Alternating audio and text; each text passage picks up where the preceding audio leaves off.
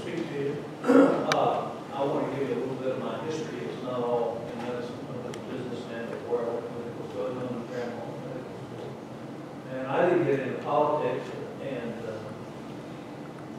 when I first ran for office, everybody thought I was crazy. I was running against a sixteen term incumbent, eighty-four percent Democrat district. Uh, I did have an advantage of delivering several thousand babies in that district, that didn't hurt. Uh, But I didn't run as a Republican or a Democrat. I ran as an American. Uh, And if you look at my record in Congress, uh, both the six years I was in Congress and the ten years I was in Senate, I never was a partisan, except for our country and our people. And so, uh, not long after I was elected to my second term in the U.S. Senate, I told the majority of the people that I was leaving. He said, why? And I said, because you're not fixing the problems that are in front of us. Very serious problem. And he kind of blew that off, and then I offered my resignation two years early. um, As I had planned to do if we weren't fixing it. So my testimony to you is, is if you think Washington's going to fix what's wrong with this country, I, I just need you to walk in my shoes for a few days. Of what I saw, how I saw things happen. You know, we, we, we hear talk today of a infrastructure program, a trillion dollars over ten years. We hear enhancing our military, hundred billion dollars more a year. We hear fixing the Affordable Care Act, costing more money.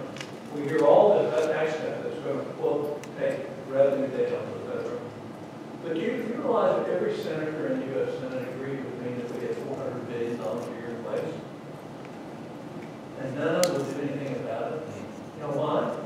Because all that waste and fraud and duplication has a constituency. And the nature of politics and the nature of human being is to maintain your power, maintain your position. And so we have this conflict of interest in Washington. We see it in our own state capital. We, we know what it is, that sometimes people won't give you a vote that they should have because it might not look exactly right at home. Uh, when in fact they think it might be the, or know that it's the right thing to do. So I left seeing that I don't think we're going to see the restoration of our principles of a republic come out of Washington D.C. So, and, and I think there, there's a good point to be made about what are the four critical things that keep us a republic. One is, is limited government. We certainly don't have that today. The second thing is the rule of law. That hasn't happened for the last few years. We haven't seen it. And that's not just a federal issue, that's a state issue as well. Number three is we haven't had economic freedom.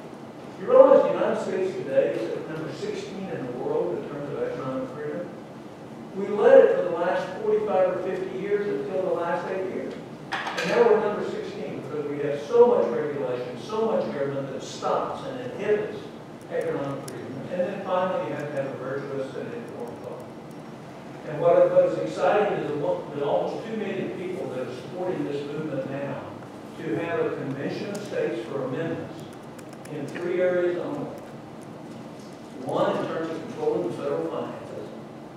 And just let me mark off of that for a minute. Right now, our debt is 23. That's nothing. Our unfunded liabilities